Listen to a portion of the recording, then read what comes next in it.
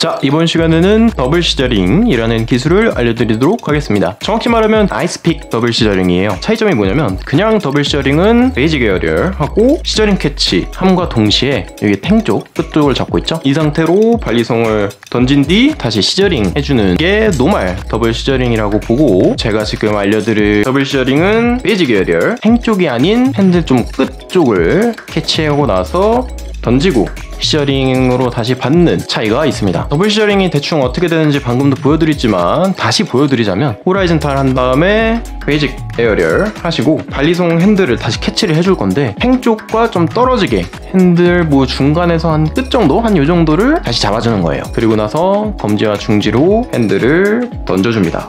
그리고 나서 다시 scissoring으로 받아주면 되는 기술이에요. 다시 한번 설명을 드리자면 horizontal, basic aerial, 그리고 한이 정도 핸들 중간에서 한 좀 끝 정도를 캐치해 주시고 중지와 검지로 핸들을 다시 던져주는 겁니다.